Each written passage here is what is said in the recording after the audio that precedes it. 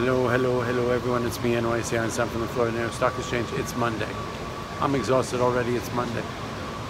I don't know. It's kind of a mixed market here. A lot more green than red.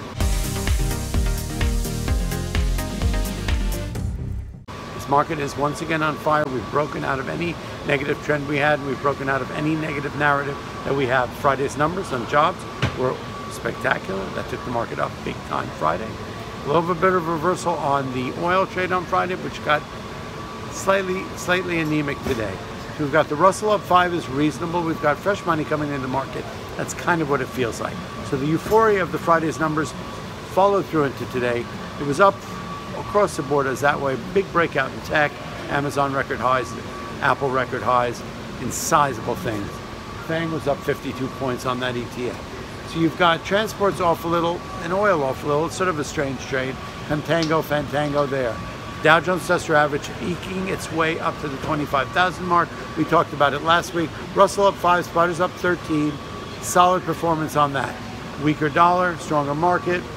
That's about it. So it was sort of a lack of bad news with a follow through on the euphoria from Friday's job number to carry the market higher.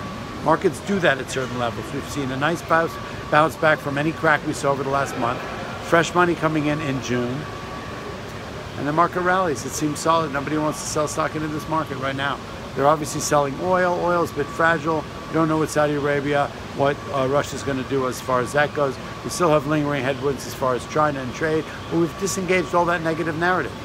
This market seems strong. Tech is strong. Tech carries this market higher. We've seen that happen before. Where Apple goes, where Amazon goes, that's where the market goes. Dow Jones Industrial Average up almost 200, 24.8. We're on our way back to 25,000. Not much more to analyze. We've got a lot coming in in June. The volume's going to increase. We've got big Russell at the end of the month. We've got a market on fire, so stick with it. Stick with me inside Wirtschaft. And we're the Einstein from the Florida New York Stock Exchange. Give me up. I love you. See you tomorrow.